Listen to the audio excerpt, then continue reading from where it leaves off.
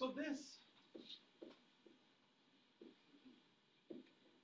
you could get a question that takes your polynomials unit and says, can you graph the square root of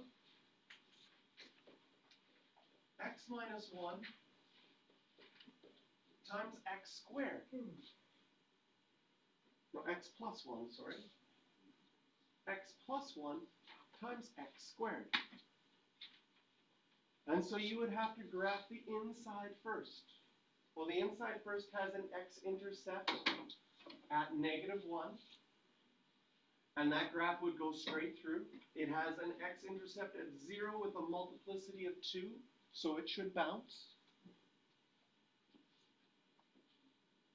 And this is the graph that's given. So first of all, if it was given this way, you would have to graph the inside first and then square root. Okay? So let's say we drew the graph, we get the red graph drawn there. Then when we go to square root it, we mark where it's 0. We also mark where the y value is 1.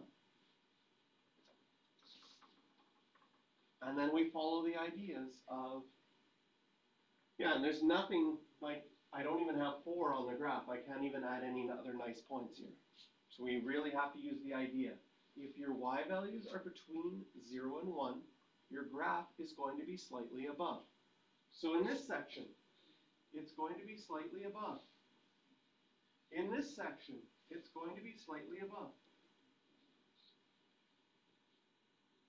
And this is our graph.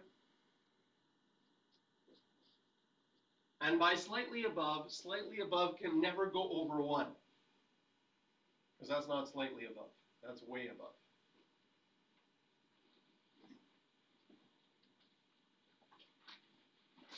So the idea stays the same, but depending on the graph you get, the graphs can look really different.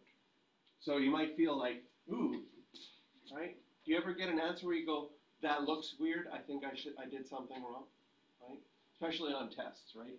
You're writing a test and all of a sudden your answer is like 331 over 17.5. Like, I did something wrong. The teacher wouldn't the teacher wouldn't make a fraction like this. I must have done something wrong. In fact, I think we do a bad, like in real life, almost all answers you get look funny. When you're solving something in real life, you get a, oh, that's a weird looking answer. Decimals and fractions that don't work. So maybe we should do a better job on tests giving you weird looking answers more often. Don't worry. You get to, you get, once you get to higher level math, then there, have no problem having weird answers come up on tests. Okay, so questions for this one?